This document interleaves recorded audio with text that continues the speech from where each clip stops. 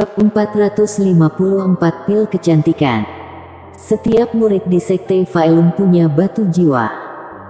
Sebagai sekte kelas menengah, jarang sekali ada yang berani membunuh murid Sekte Faelum.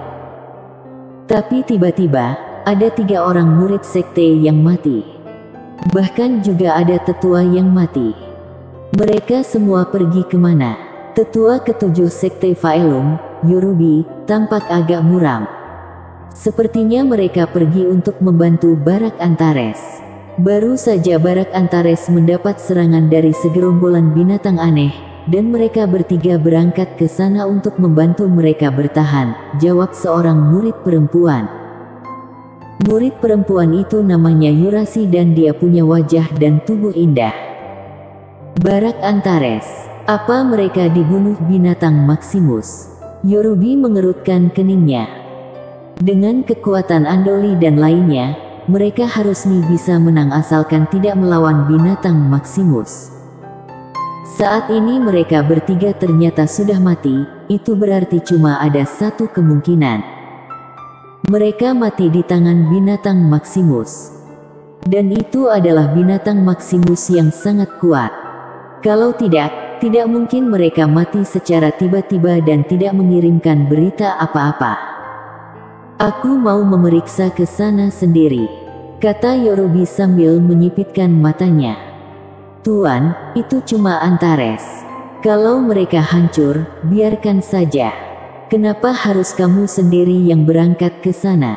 Yurasi meringkuk di pelukan Yorobi sambil berkata genit.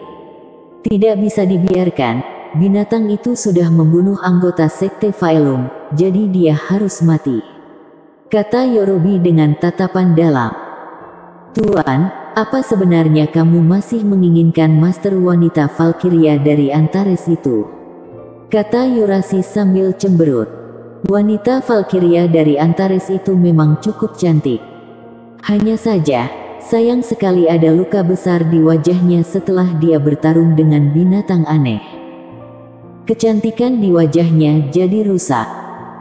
Terakhir kali, Sewaktu Yorobi mengunjungi Barak Antares, dia memerlukan sebotol obat kecantikan untuk Keita supaya bekas luka di wajahnya bisa hilang sempurna. Dia pikir, saat ini bekas luka di wajah Keita seharusnya sudah tidak ada lagi kan.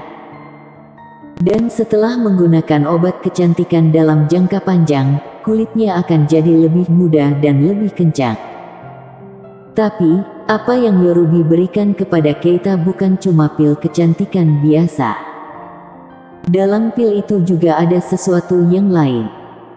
Begitu seorang wanita meminumnya dalam jangka panjang, tubuhnya juga akan berubah. Dia akan jadi sangat sensitif dan lebih bernafsu. Kebahagiaan yang dia rasakan nantinya akan berlipat ganda. Dia sudah mengujinya pada murid kesayangannya, Yurasi. Hasilnya sangat luar biasa. Kini, mungkin wanita Valkyria itu sudah hampir menghabiskan pil kecantikan. Saatnya panen.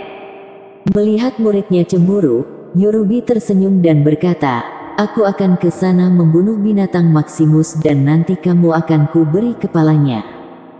Terima kasih guru. Yurasi yang awalnya terlihat enggan, tiba-tiba merasa bahagia. Bagaimanapun, bangkai dari binatang Maximus adalah sebuah harta karun. Kalau bisa diolah, akan jauh lebih berharga. Aku akan pergi ke barak Antares dulu. Yorubi menamparkan pantat Yurasi. Tuan, teriak Yurasi malu-malu. Di Antares. Keita sudah memberitahu Devan tentang situasi di barak Antares. Yah, Aku lumayan paham tentang situasi kalian. Meskipun lokasi barak Antares akan jarang dapat serangan binatang aneh yang kuat, sumber daya di sini juga sangat langka. Kalau bisa menemukan tempat dengan sumber daya yang kaya, kalian bisa meningkatkan kekuatan kalian lagi, kata Devan sambil menyipitkan matanya. Langit dan tanah punya energi spiritual mereka masing-masing. Kalau berlatih di tempat dengan energi spiritual yang kental, kecepatan latihan mereka juga akan berlipat ganda. Misalnya saja Gunung Suci Athenia di Antares. Itu adalah tempat yang penuh dengan energi spiritual. Kalau berlatih di sana, kecepatan pelatihannya akan sangat cepat. Tapi lokasi Barak Antares pada dasarnya tidak punya energi spiritual sama sekali. Bahkan binatang aneh pun tidak mau datang ke sini. Jadi mereka aman dari serangan binatang aneh. Tapi tempat-tempat yang punya energi spiritual yang melimpah, terutama tempat-tempat yang diberkati dengan sumber daya kaya, tidak hanya menarik perhatian para master, tapi juga binatang aneh. Meski begitu, tidak mudah menemukan tempat yang seberuntung itu. Karena umumnya tempat-tempat yang melimpah energi spiritual sudah ditempati oleh beberapa sekte besar.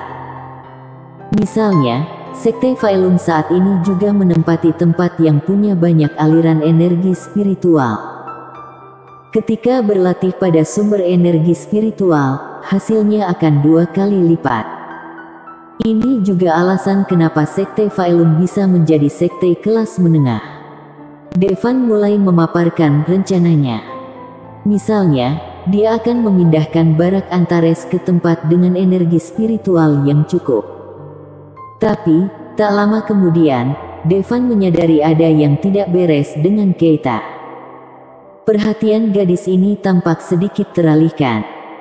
Apa kamu dengar apa yang baru saja kukatakan? Tanya Devan dengan mengeriutkan kening. Ah, ya, Aku ingat Tuan. Keita terkejut dan segera menjawab. Dia menundukkan kepalanya dan mengambil pulpen untuk mencatat apa yang dikatakan Devan. Wajah cantiknya sedikit memerah. Apa mungkin, Keita pada saat ini? Melihat Keita mulai mencatat dengan serius, Devan lanjut berbicara. Tapi tak lama kemudian, Devan lihat Keita mulai kehilangan fokus lagi. Kalau tidak mau dengar, lupakan saja. Devan sedikit kesal.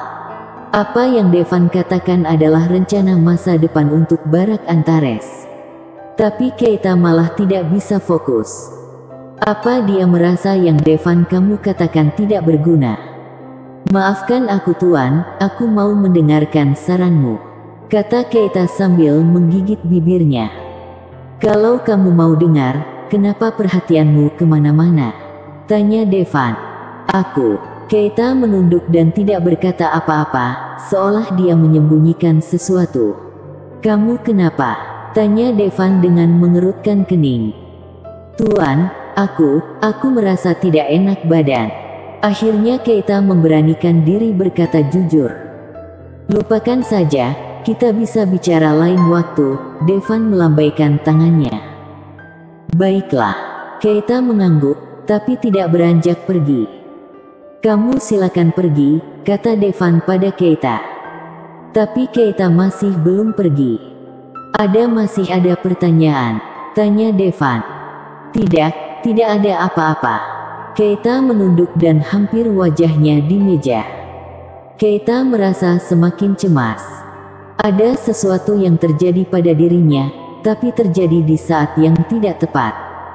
Ini membuat Keita malu untuk beranjak pergi. Dia malu ketika harus berdiri.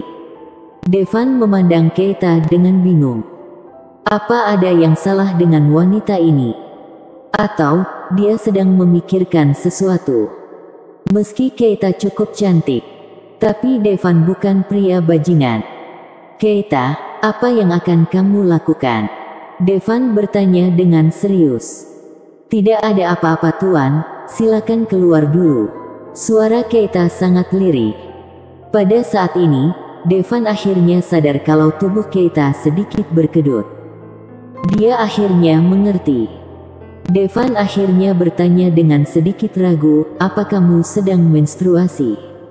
Keita tidak tahu bagaimana mengatasi rasa malunya. Sesudah mendengar apa yang dikatakan Devan, dia segera berkata, "Ya." Kalau begitu bilang saja, aku keluar dulu. Devan memalingkan wajahnya.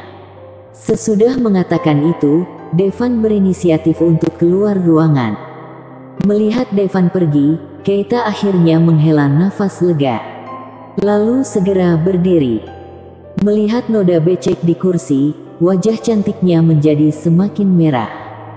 Entah kenapa, tapi akhir-akhir ini Keita selalu merasa tubuhnya sedikit aneh. Tapi sekarang bukan waktunya berlama-lama. Keita harus membersihkannya terlebih dahulu. Untungnya, Keita punya cincin penyimpanan kelas rendah, jadi dia segera mengeluarkan pakaian dan mengganti pakaiannya. Kemudian, kursinya juga dibersihkan. Kemudian dia mengeluarkan sebotol pil kecantikan yang diberikan oleh seorang tetua dari Sekte Faelum. Meski bekas luka di wajahnya sudah hilang, tapi pil ini juga bisa membuat kulitnya semakin awet muda. Sayangnya hanya tersisa satu. Awalnya, Keita tidak mau meminum yang terakhir. Tapi hari ini, Keita memutuskan untuk menghabiskannya. Karena setiap kali dia meminum pil kecantikan, semua orang memuji dia karena bertambah cantik.